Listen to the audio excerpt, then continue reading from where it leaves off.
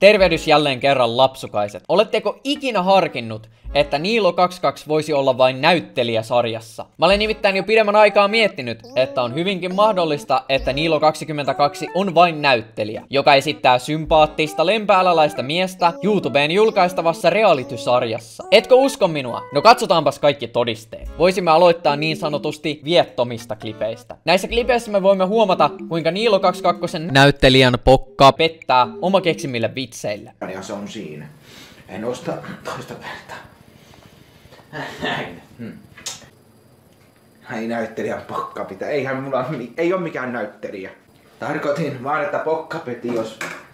Niin. Kirjoitappas läpällä YouTubeen Niilo22 näyttelijän pokka pettää. Näitä klippejä on tuhansia. Onneksi meikäläinen on päässyt viikon loppu ja hymyilyttää. Mutta ei,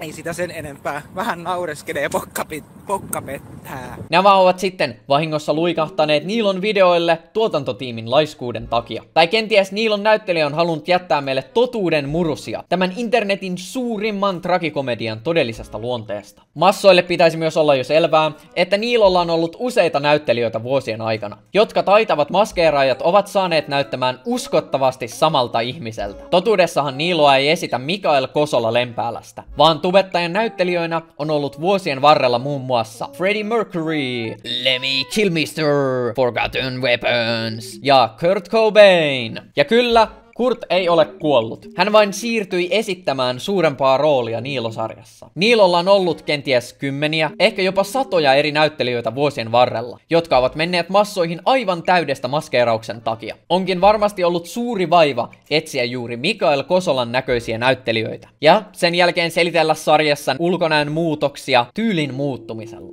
Totuudessa tyylin muuttumisella peiteltiin selviä eroavaisuuksia Niilon uuden näyttelijän kasvoissa. Kertokaa kommenteissa, mikä oli teidän lempi Niilo 22 näyttelijä, koska meitsillä se on ehdottomasti Tatti Niilo. Me töihin, me töihin. Siis mä nautin kovasti Tatti Niilo tuotantokaudesta, jossa katseltiin kännissä leffoja VTn kanssa ja pauhattiin pakosarjasta. Noin. Ja vieraalla tähti voi tähän väliin sanoa, että siellä tekilaa loistavaa tekilaa 5 kautta 5. Arvosanan saa ihan välittömästi. Ja mitä sanoo itse isäntä päähenkilö siinä?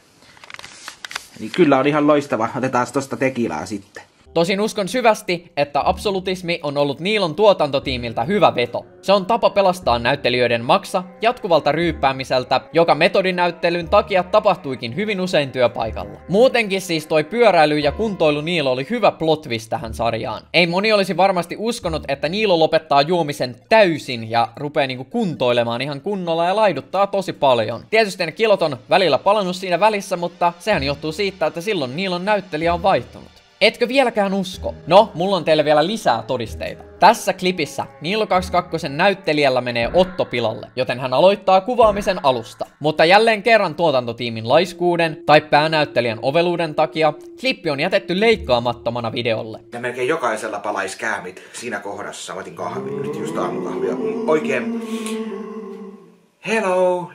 Good morning everybody, ladies and playboys. Niilo 22. Mutta päättyykö tarina vielä tähän, vai onko esimerkiksi VT tai Onni suoraan maagista vain näyttelijä? No, en löytänyt todisteita siitä, että VT tai Onnin näyttelijä olisi vuosien varrella vaihtunut. Mutta se ei tarkoita sitä, etteikö näitä kahta hahmoa näyttelisi vähintään Niilo 22 tasoiset ammattinäyttelijät. Sen voin sanoa suurella todennäköisyydellä, että Onni ei ole näyttelijä. Sillä kaikki Lempäälässä asustavat tiedostavat sen faktan, että Lempäälässä on vain yksi seriffi, ja se on Onni. Onnin voi nähdä usein Lempäälässä pyöräilemässä jopallaan ja taistelemassa rikollisuutta vastaan. Tämän takia uskonkin, että Onni on autenttinen oma itsensä eikä näyttelijä. Häntä voisi jopa kuvailla Lempäälän seriffiksi tai Batmaniksi, sillä ilman Onnia Lempäälän perheidyyli olisi vain nistien piikityspaikka. Mutta sitten taas VT vaikuttaa aivan selvältä näyttelijältä. Sillä oletteko koskaan törmänneet VTCn oikeassa elämässä? No ette tietenkään, sillä VT ottaa roolinsa hieman vähemmän tosissaan kuin Niilo. Hän vierailee sarjassa vain satunnaisesti ja onkin loppupäivät lomalla lempäällä reality showsta. Hän myös todennäköisesti näyttää siviilissä aivan erilaiselta kuin sarjassa. Hänellä saattaa olla jopa naamio koko ajan päällä. Eli siis myös VT on aivan selvä näyttelijä, koska eihän näin komeaa ja supliikkia miestä voi olla olemassakaan. Joten nyt voimme varmasti kaikki turvallisesti olettaa, että Niilo 22 ja VT ovat vain näyttelijöitä sarjassa. Oikeesti huutista kaikille, jotka kommentoi Niilo 22 videoihin vieläkin ikäviä kommentteja, äijät ei edes tajua, että ei koko äijä ole edes olemassa. Kiitos kun katsoit tämän tärkeän ilmoitusluontoisen videon. Tilaa jos tilatututtaa ja tykkää jos tykätytyttää. Ja tilaa tarroja jusunbalsit.com.